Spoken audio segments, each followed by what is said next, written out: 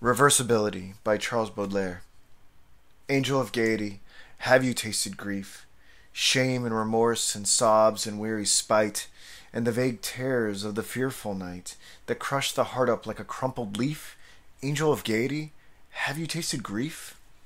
Angel of kindness, have you tasted hate?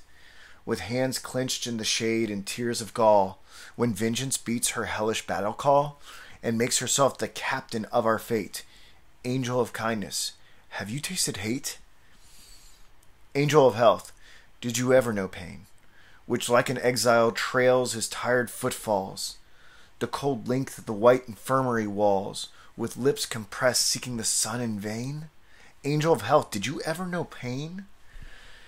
Angel of beauty, do your wrinkles know? Know you the fear of age, the torment vile Of reading's secret horror in the smile Of eyes your eyes have loved since long ago? Angel of beauty, do your wrinkles know? Angel of happiness and joy and light, Old David would have asked for youth afresh From the pure touch of your enchanted flesh. I but implore your prayers to aid my plight, Angel of happiness and joy and light.